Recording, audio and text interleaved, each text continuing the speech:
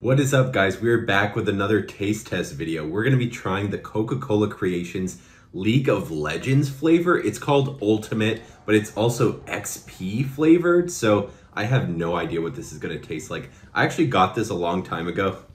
Well, a little while ago now, and it's just been sitting in my fridge, so I don't know if that's gonna affect the taste at all, but let's crack it open and see what it tastes like. Strange that League of Legends got their own Coca-Cola flavor, but you never know. I guess it could be could be good.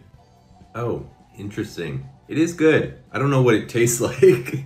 I don't know what it tastes like, but it is good. It does have a bit of like a fruity, kind of artificial fruity flavor to it. I feel like all these flavors that are weird names like Ultimate, XP flavored, whatever, Dream World, they just couldn't figure out what it tasted like. So they're like, oh, let's just do a League of Legends flavor. It's really, really strange.